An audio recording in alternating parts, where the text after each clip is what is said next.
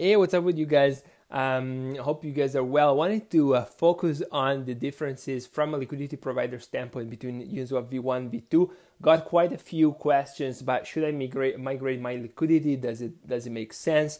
So I'm here on uniswaproi.com, a tool that allows you to uh, to manage and track your liquidity. Probably some of you are already using it, and uh, I made a video um, a few days ago announcing that the tool now support Uniswap v2. So just to give you an example, if you invest in the new version of the protocol, you're gonna see your pools here with a v- Uniswap v2 icon, and then by clicking on them, you're gonna see again again like this uh, Uniswap V2 icon, you're to see all the analysis for your return, your investments.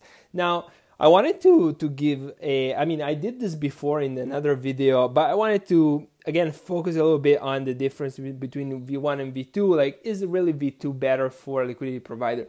Now, I think it's important to to define, you know, what are the goals of liquidity provider. In my view, at the end of the day, like most people that are investing on Uniswap, they want a return, right? They're doing that to, uh, they provide a service via Uniswap to um, essentially an exchange service. They want to get uh, remunerated for that. So if that's the goal of the liquidity provider, um, I'm not sure I see like that 10x improvement on between V1 and V2 for them.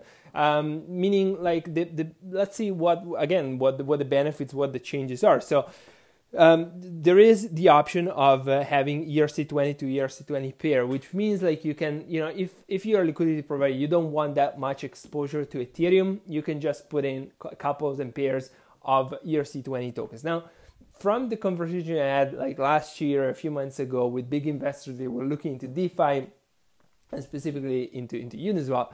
Their problem was actually the opposite. They didn't want exposure to ERC20 tokens, but rather they wanted exposure to to Ethereum right? So that may or may not be a change that you know you guys care about. Uh, there is a bunch of other technical improvements, but they are more, in my view, either for the users, right, in terms of flash swaps and price oracles, or or uh, in general, like for yeah the security of the platform. But I think also V1 was pretty simple and pretty secure. There were some exploit, but they were on pretty sketchy pools anyway. So yeah so th- these are i mean i, I would say uh, incremental improvements and then i mean if you really care about the returns the other the other things to consider is that the you know uniswap will be the team will be able to reduce the fee from 0.3% to 0.25% uh, as a path to sustainability. So essentially, 0.05% will go to the Uniswap team, which personally I think that's fair. That's correct. I mean, it's fine. Like they've been working, they've been creating all this. They need to maintain it. They have expenses. So uh, finding a business model for them, and nothing, I have nothing against it per se. Uh, but like if you know that would mean right away a 16% reduction in the in the inflows of fees to liquidity providers. So that the question is like, will the liquidity migrate from one to the other? Uh, is to be seen, right? So if we check the liquidity right now, in this uh, comparison website, we'll see that 35% of liquidity is already locked in V2, so already migrated. It's a third. It's a pretty meaningful percentage, to be honest. Then 65% is still in V1.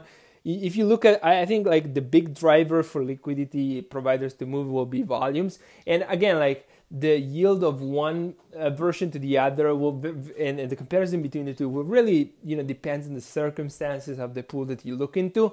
So uh, meaning like the volume how big the pool is in the two you know v1 and v2 so i plan to by the way create a uniswap i comparison website where you can see the um, the yield of both v1 and v2 make choices. That's you know way days away or may, maybe you know weeks away just to be safe but that's also coming. So you know uh, stay tuned for that. Uh, right now the volumes are still pretty bigger on um, uniswap v, v1 versus v2 like 6 million 1 million. And then we need to you know make a discount for x which is an entirely different beast that's still on v1 so may, that some of these numbers may be slightly skewed because of that. But uh, yeah, so so the, the answer is I think from a, a structure point of view, design point of view, there's no 10x improvement for liquidity provider to, to migrate from V1 from V1 to V2. I think the bigger driver will be volumes and the ability of Uniswap, the Uniswap team to really get V2 integrated into many dApps, into many other uh, ecosystems, and by doing that, like move the volume uh, of transaction from V1 to V2. At that point, volume will mean fees, and so fees is basically the component of return for liquidity providers, and so at that point, you know, that will be a transition. So we'll need to see how this pan out. It's a very interesting case in DeFi. They, the, the team doesn't have private keys, and so that's totally down to the game theory, to the uh, you know in- incentive structure uh, for the LPs to decide whether they want to migrate or not.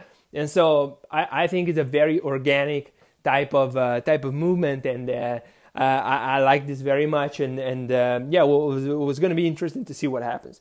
So that's all for today, guys. Hope you um, hope you enjoyed this. If you have any question, thoughts, I love to discuss as usual. You can find my uh, handles, uh, Twitter handles, and uh, Telegram right in the tool uh, here and here. If you want to follow, if you want to uh, connect directly with me. Until next time, have a great one, guys. Talk soon.